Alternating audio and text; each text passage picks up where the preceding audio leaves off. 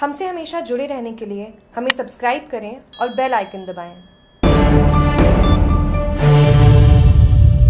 Indian Oil की pipeline से चोरी का मामला। क्रूड ऑयल चोरी में आया नया मोड़।